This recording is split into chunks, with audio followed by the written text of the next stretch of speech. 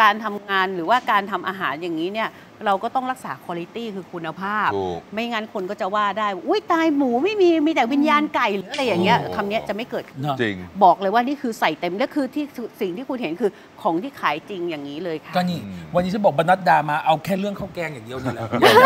อยากจะให้คนแบบว่า อยากจะให้คนรู้ว่าค่ะขอบคุณนะลูกขอบคุณนะขอบคุณนะจะลองชิมก็ได้นะเดี๋ยวให้ทีมงานเดี๋ยวลองชิมชิมเดี๋ยวฉันจะกัถ่ายติ๊กต็อกเลยเออโอ้เยวได้ให้ขอบ TikTok คุณมาก เออ เพราะว่าอย่างนี้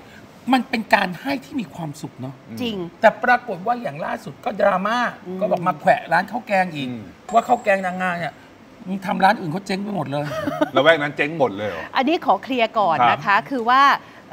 รอบๆร้านบุ๋มไม่มีร้านข้าวแกงด้วยกันอ่าและกลางวันไม่มีร้านไหนเปิดค่ะด้วยกัน เพราะว่าเขาจะเป็นร้านที่เปิดตอนเย็นอ๋อ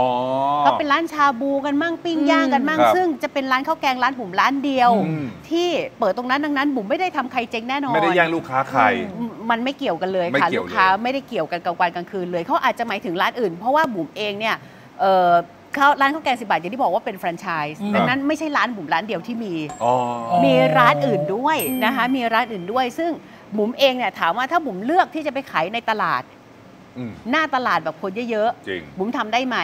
ได้ อืม แต่ทำไมบุ๋มไม่ทำเพราะบุ๋มรู้ว่ามีร้านข้าวแกงร้านอื่นที่ขายอยู่ตรงนั้น ใช่ และบุ๋มจะไม่ฆ่าเขา โอ้เพราะว่าบุ๋มต้องการมาช่วยคนบุ๋มอืมไม่ได้ต้องการมาฆ่าคน โอ้ ดังนั้นเราก็จะไม่แย่งลูกค้ากัน ครับให้เขาขายของเขาในราคาของเขาจะ 30 บาทถุงละ 50หรือแล้วแต่เขาเลย อืม มันก็คือ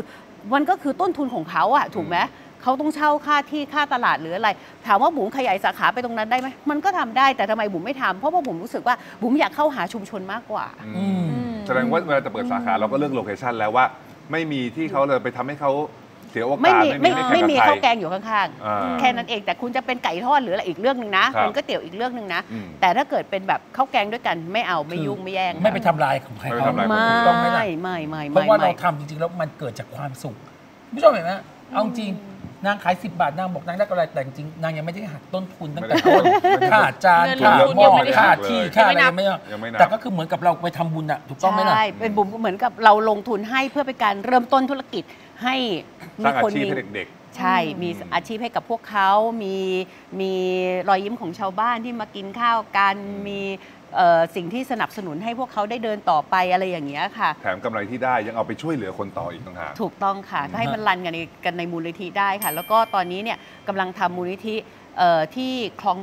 อืม8นะคะ ตรงครับคลอง 8 ค่ะซื้อที่ไว้ล่าสุดเลยค่ะ ก็เลยกำลังจะเป็นมูลนิธิที่บุ๋มรู้สึกว่าที่เนี่ยจะเป็นที่ที่บุ๋มจะทิ้งเป็นสมบัติของชาติไว้แล้วโอ้อืมอะ ต้องติดตามนะ ต้องให้กันต่อไปเดี๋ยวต้องดูกันต่อครับไปผมค่ะ